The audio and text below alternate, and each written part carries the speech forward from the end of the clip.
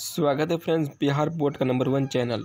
आज की वीडियो में हम लोग बात करेंगे क्लास ट्वेल्व के हिस्ट्री के काफ़ी इंपॉर्टेंट क्वेश्चन जो कि आपकी एग्ज़ाम के लिए काफ़ी इंपॉर्टेंट होगी। वीडियो शुरू करने से पहले आपसे छोटी सी रिक्वेस्ट है, चैनल में फ़र्स्ट बार विज़िट कीजिए चैनल को सब्सक्राइब करके बेल आइकन को प्रेस कीजिए।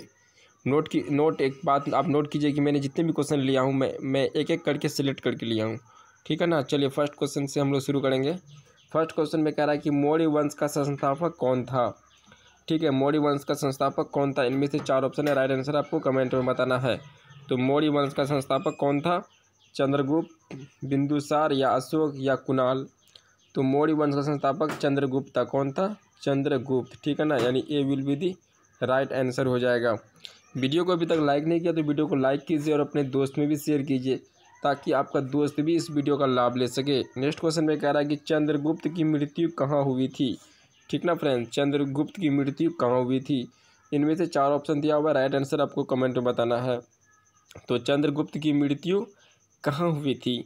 तो फाइनली इसका राइट आंसर हो जाएगा सरोवन वेल गोला सरोवन वेल गोला में, ठीक है, चंद्रगुप्त की मृत्यु हुई थी, ठीक है ना? C will be the right answer चलिए नेक्स्ट क्वेश्चन आपके स्क्रीन पे। इसका राइट आंसर आप लोग कमेंट में बताइए। नेक्स्ट क्वेश्चन में कह रहा है कि चंद्रगुप्त मौर्य किस धर्म को मानने वाला मानने वाला था, ठीक है? चलिए, चंद्रगुप्त मौर्य किस धर्म को मानने वाला था? बौद्ध को, जैन को, शैव धर्म को या वैष्णव धर्म को? तो जो क्वेश्चन है, चंद्रगुप्त मौर्य किस धर्म को मानने वाला था? तो फाइनली इसका राइट आंसर हो जाएगा जैन हो जाएगा। क्या? जैन हो जाएगा। चंद्रगुप्त यानी जैन धर्म को जो है, मानने वाला था, ठीक ना? तीन का जो है B will be the right answer हो जाएगा। चलिए नेक्स्ट क्वेश्चन है आपके स्क्रीन पे। नेक्स्ट क्वेश्चन में कह रहा है कि मौर्य वंश का नेक्स्ट क्वेश्चन में कह रहा है क्या? मौर्य वंश का अंतिम राजा कौन था? ठीक है। मौर्य वंश का अंतिम राजा कौन था? इनमें से चार ऑप्शन दिया हुआ है। अशोक है, कुणाल है, संप्रति है या व्रीहद्रथ है। चलिए इस क्वेश्चन का राइट आंसर आप लोग कमेंट में बताइए। क्वेश्चन में कह रहा है क्या? मौर्य वंश का अंतिम राजा कौन था? ठीक ना?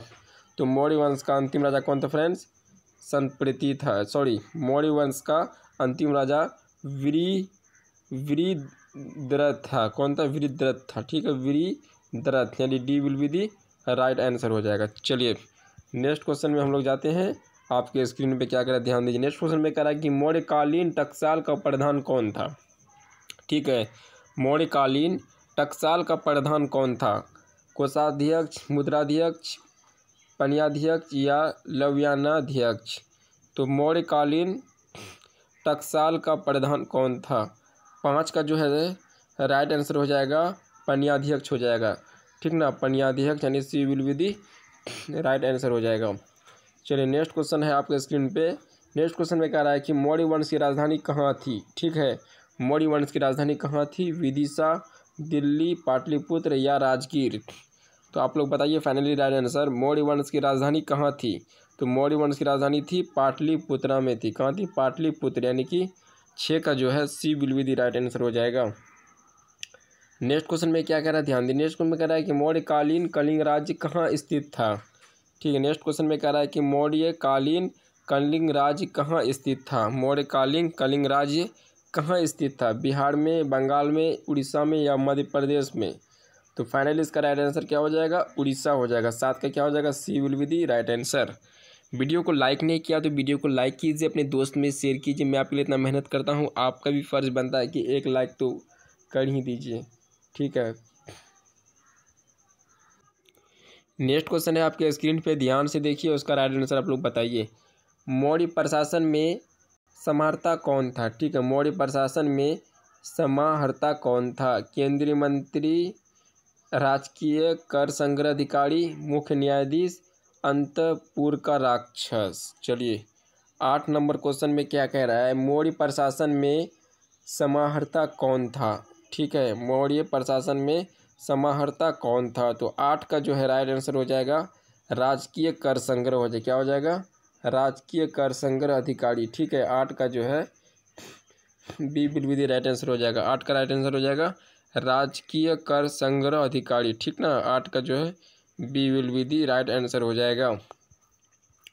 चलिए नेक्स्ट क्वेश्चन है आपके स्क्रीन पे, ध्यान दीजिए। नेक्स्ट क्वेश्चन में कह रहा है कि, मौर्य काल में बराहदह क्या था? मौर्य काल में बराह बराहदह क्या था? पशु दान था धन दान था भूमि दान था या कृषि दान था? मौर्य काल में बराहदह क्या था?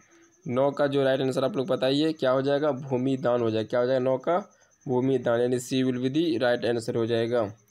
चलिए नेक्स्ट क्वेश्चन है आपके स्क्रीन पे, ध्यान दीजिए। नेक्स्ट क्वेश्चन में कह रहा है कि अशोक का व्यक्तिगत धर्म क्या था? ठीक है। अशोक का व्यक्तिगत धर्म क्या था? बौद्ध धर्म, जैन धर्म, शैव धर्म या वैष्णव धर्म? तो अशोक का जो है व्यक्तिगत धर्म तो वो था बौद्ध धर्म था। क्या था? बौद्ध धर्म। ठीक ना? A will be the right answer हो जाएगा। नेक्स्ट क्वेश्चन है आपके स्क्रीन पे। ध्यान से देखिए उसका राइट आंसर आप लोग बताइए। नेक्स्ट क्वेश्चन में क्या कह रहा है कि अशोक ने महेंद्र और संगमित्रा को धर्म प्रचार के लिए किस देश में भेजा? ने अशोक ने महेंद्र और संगमित्रा को धर्म प्रचार के लिए किस देश में भेजा? इनमें से चार ऑप्शन है तो उसका राइट आंसर आप लोग बताइए तो क्या हो जाएगा? कमेंट में बताइए। सिंह, सिंहल द्वीप हो जाएगा क्या हो जाएगा? सिंहल द्वीप। ठीक है, यानी ग्यारह का जो है D will be the right answer हो जाएगा। नेक्स्ट क्वेश्चन है, आपके स्क्रीन पे ध्यान दीजिए। नेक्स्ट क्वेश्चन में क्या कर रहा है कि अशोक किस वंश का शासक था? अशोक जो है, किस वंश का शासक था? इनमें से चार ऑप्शन है, नंद वंश, मौर्य वंश, गुप्त वंश या चोल वंश। तो बारह नंबर क्वेश्चन का राइट आंसर होगा। बारह नंबर क्वेश्चन का राइट आंसर हो जाएगा।